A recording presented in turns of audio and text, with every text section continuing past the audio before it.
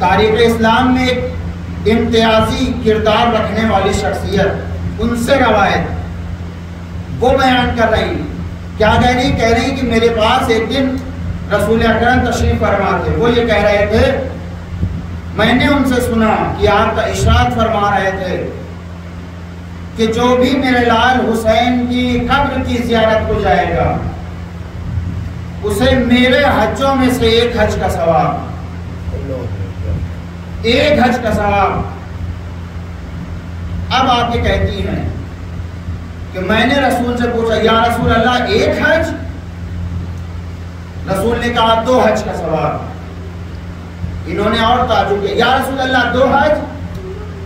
रसूल ने कहा, चार हज का सवाब और ताजुब बढ़ा, या रसूल अल्लाह चार हज का आठ हज का सवाब और तारीख बताती है, ये ताजुब करते गए रसूल अल्लाह तादाद में इजाफा करते गए। ये ताजुब करती गई रसूल अल्लाह तादाद में इजाफा करते गए। यहाँ तक कि रसूल इस्लाम सत्तर हज तक आ गए, या बाज रवायतें कहती सौ हज तक आ गए। अब जब यहाँ तक मरहला पहुँच गया तो अब जनाब आयशा खामोश हो गई। अब जनाब आयशा खामोश हो गई। रसूल ने क्या कहा कि जो भी मेरे लाल हुसैन की कब्र की जियारत को जाए उसका सवाब ये है कि अल्लाह उसे मेरे हज में से सत्तर हज का सवाब अता करेगा।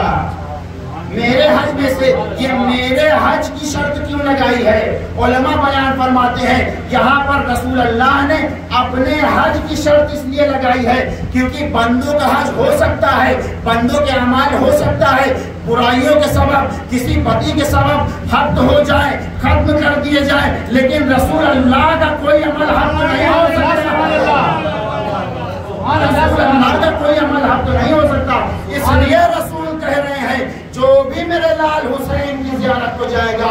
अल्लाह मेरे हजों में से सत्तर हज का सवाब अता करेगा एक सलाद पढ़ दे।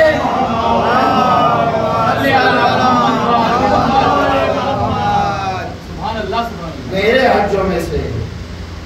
कम फजीलत नहीं है इमाम हुसैन की जियारत के। जो अफराद गए हैं आप उनसे पूछिए। चाहिए एक बार जियारत पे। ज़रूर चाहिए ज़रूर चाहिए और बिलखसूस जहाँ जहाँ तक आवाज़ जा रही है। बिलखसूस जो अफराद मेरे हमसिन है या हमसे थोड़ा सा जो यंग कैटेगरी में आते हैं, उनसे गुजारिश है कि जाएँ इमाम हुसैन की जियारत को। ये कुछ नहीं कह सकते आप, हमारे यहाँ ये बना करके रखा हम लोगों ने अपना नज़रिया कि मौलाना रिटायर हो जाएँगे तो जाएँगे। ये कोई शर्त नहीं है इमाम हुसैन की जियारत की, कि जब आप पचास साल कंप्लीट कर लेंगे, चालीस साल कंप्लीट कर लेंगे, तब हुसैन की जियारत को जाएँगे। ये कोई शर्त नहीं है। जवानी में जाइए इमाम हुसैन की जियारत को। और जो अपराध गए हैं, वो बेहतर तजुर्बा रखते हैं उससे बयान करेंगे आपसे, जब इंसान यहाँ से जाता है, घर में अफराद बीमार रहते हैं, कुछ भी होता है, घर की लाख टेंशन होती है, लाख परेशानी होती है। और खासतौर से वो अफराद के जिनके घर में वही इकलौते मर्द हैं, वही चले गए जियारत पे। अब वो परेशान हैं। घर में राशन कौन पहुँचा रहा होगा? बीवी बीमार है, दवा कौन पहुँचा रहा होगा?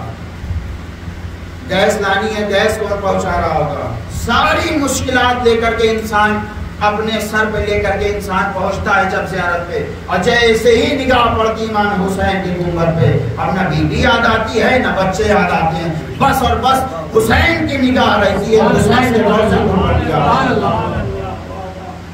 सिर्फ़ हुसैन की गुंबद के ऊपर निगाह रहती है। अब न घर याद है, न घर वाले याद हैं। अब याद है तो सिर्फ़ और सिर्फ़ हुसैन इतने अली की याद है। सिर्फ़ और सिर्फ़, ये आखिर मोहब्बत आई कहाँ से? ये मोहब्बत, जब आपके दिल में मोहब्बत आ जाए तो समझ लीजिएगा कि इमाम हुसैन की नज़र करम हम पर है, खुदा की नज़र करम हम पर है। वरना हर किसी को इमाम की मौका नहीं देते, हर किसी को मौका नहीं मिलता, हर किसी को तौफीक नहीं मिलती। हर किसी के पास तौफीक नहीं होती है। और जब पहुँचता है इंसान, और यहाँ से सोच करके जाता है, एकदम सामने की बात, जो तजुर्बे की हुई बातें वो मैं आपके सामने अर्ज़ कर रहा हूँ। इंशाल्लाह फिर किसी दिन मौका मिलेगा तो और बयान करेंगे। जो अपराध गए आप उनसे पूछिए। जब इंसान